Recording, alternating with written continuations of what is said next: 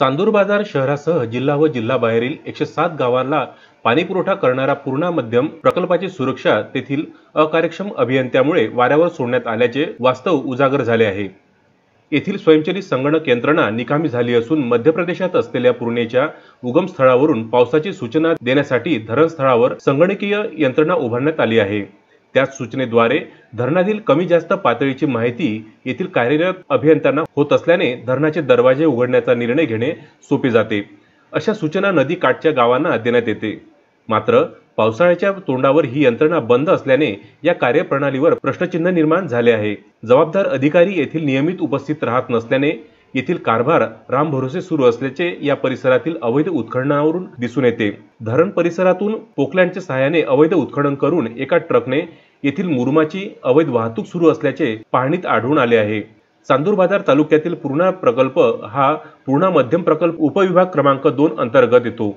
या धरणस्थळावरील कार्यालयात उपविभाग अभियंता सहाय्यक अभियंता व कनिष्ठ अभियंतासह वरिष्ठ लिपिक कनिष्ठ लिपिक अनुरेखक स्थापत्य अभियांत्रिक सहाय्यक शिपाई व दोन मजूर अशी दहा पदे आहेत. मात्र प्रत्यक्षात येथे शिपाई व कंत्राटी मजूर उपस्थित होते.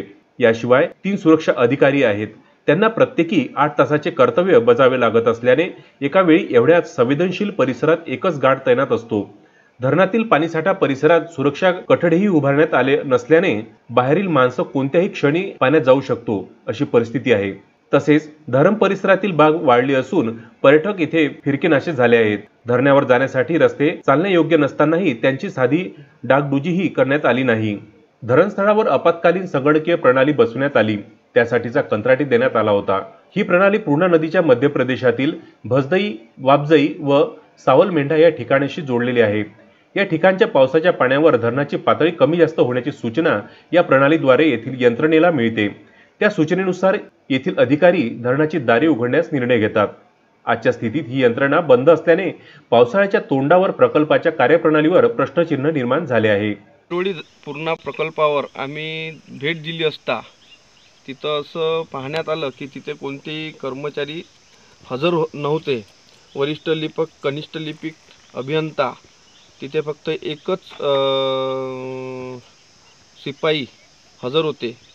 आणि या धरणाकडे पर्यटकच्या हिशोबाने कोणताच रस्ता रस्त्याला गड्डे आहे. रस्ता हा चांगला नाही गार्डनची दुरावस्था आहे. त्याच्यानंतर आम्ही वरते गेल्यानंतर पाहिलं तर त्या कॉम्प्युटरमध्ये कॉम्प्युटर बंद आहे तिथे जे यांत्रिक यंत्र आहे ते सर्व बंद आहे. आणि तिथे पण एकच शिपाई हजर होता. अशा परिस्थितीत या धरणावर जर कधी कोणता अतिरेकी हल्ला झाला किंवा काही झालं तर ह्या धरणाची सुरक्षा कोण करेल? आणि पर्यटनच्या माध्यमातून इथचे गार्डन डेव्हलपमेंट नाही आहे रस्ते डेव्हलप नाही आहे आणि इथं ऑफिसला अधिकारी किंवा कनिष्ठ लिपिक वरिष्ठ लिपिक हजर नाही आहे. त्या धरणाच्या आजूबाजूनं एक पोकलँड उभा आहे त्या पोकलँडमधून मुरुम खोदला जातो तो ट्रकमध्ये भरला जातो इथून तो मुरुम बाहेर चालला आहे.